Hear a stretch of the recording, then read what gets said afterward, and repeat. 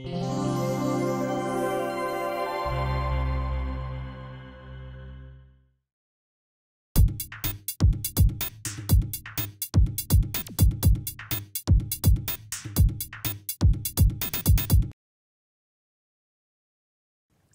siang, saya Purnama dari GDA uh, Geosen Delta Andalan dari Divisi Riset.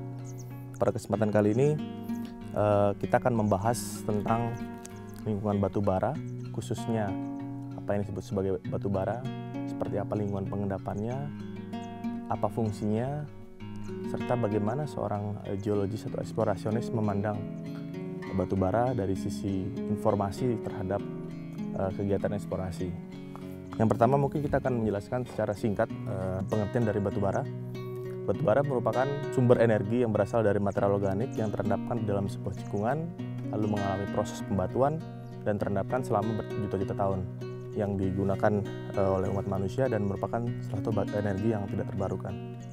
Kegiatan eksplorasi diawali dengan kegiatan pendahuluan berupa studi referensi yang biasanya digunakan sebagai acuan awal atau dasar e, berupa e, dari peta geologi yang diterbitkan oleh Badan Pusat Survei Geologi, bisa berupa peta topografi yang diterbitkan oleh Bakus Surtanal, maupun informasi gratis yang bisa kita peroleh dari internet misalnya adalah Google Earth. Oke, saat ini kita berada di Pulau Sumatera, salah satu pulau yang terkenal sebagai penghasil batu bara. Tepatnya kita berada di daerah Rantau Ikil di provinsi di antara provinsi Jambi dengan provinsi Sumatera Barat. Dan saat ini kita berada di sebuah areal bekas penambangan uh, batu bara dalam skala besar. Di depan kita saat ini kita bisa melihat ada beberapa lapisan batuan yang mempunyai perbedaan warna.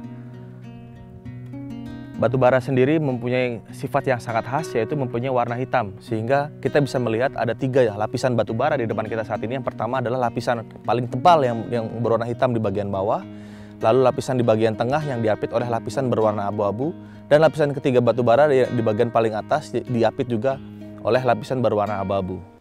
Lantas bagaimana kita menginterpretasikan lingkungan pengendapan masa lampaunya? Ada beberapa petunjuk yang dapat kita gunakan sebagai dasar untuk membantu kita menginterpretasikan lingkungan pengendapan masa lampau dari sebuah uh, endapan batu bara. untuk di daerah ini, Beberapa petunjuk yang dapat kita lihat adalah struktur kayu yang berasal dari tanaman tingkat tinggi yang masih memperlihatkan posisi tumbuhnya, lalu struktur sedimen crack yang mengindikasikan dataran lumpur yang luas yang terisi oleh uh, material getah damar mengindikasikan kita berada pada sebuah lingkungan fluvial.